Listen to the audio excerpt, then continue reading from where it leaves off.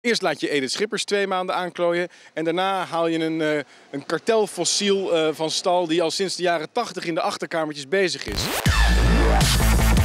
Edith Schippers legt haar rol als informateur neer. Missie mislukt?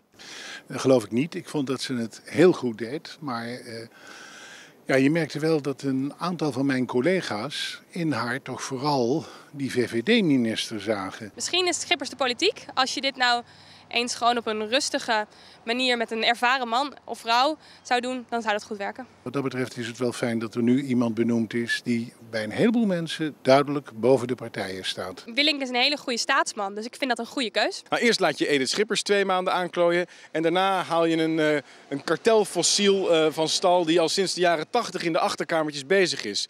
Uh, er is juist ruimte voor vernieuwing en verjonging nu en dat moeten we dus ook doen. Nou, als ik iets oude politiek vind, is dat hele ik wil wel met jou, ik wil niet met jou, we, we, stoppen er weer even mee en dan gaan we straks weer samen formeren. Dat vind ik nou oude politiek. Herman Cenk Willink is van de Partij van de Arbeid, de partij die de meeste zetels heeft verloren bij de verkiezingen. Bovendien al sinds de jaren 80 bezig om achter de schermen allerlei zaken te bekokstoven in politiek Den Haag. Dus het is een typische kartelpoliticus uh, die helemaal niet de wensen van de kiezers uh, vertegenwoordigt. Dus geen goed idee. Nou, dat vind ik iets te makkelijk. Uh, Cenk Willing is natuurlijk ooit bij de Partij van de Arbeid begonnen, maar heeft echt bewezen dat hij ver boven de partijen staat. Reken maar dat hij objectief te werk zal gaan. Al dit soort spelletjes, daar willen we nu eigenlijk vanaf. Dit is toch ook niet waar de kiezer op zit te wachten. Het is 2017, weet je. Dit zijn 19e eeuwse praktijken.